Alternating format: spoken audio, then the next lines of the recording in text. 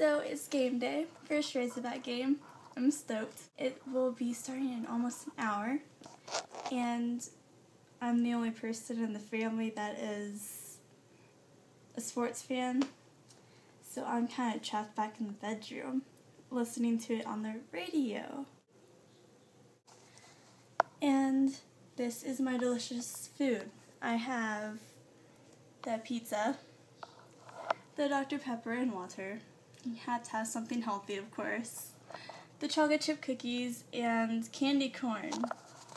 Almost Halloween. It's fall time. And I'm stoked. Woo! Razorback shirt. Let's go!